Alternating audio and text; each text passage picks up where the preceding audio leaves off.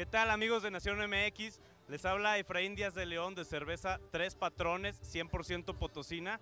Estamos en el Global Beer Fest, eh, un evento potosino que, se- que está genial, hay muchísima gente, está increíble. Actualmente eh, Tres Patrones está ofreciendo seis estilos de cerveza, de los cuales tres son especiales para el Global Beer Fest. Uno es una cerveza Blonde Ale, una Red Ale y la Porter. Y las cervezas especiales es una Wheat Beer, es una Not Brown Ale y claro, la favorita de los cerveceros, una IPA.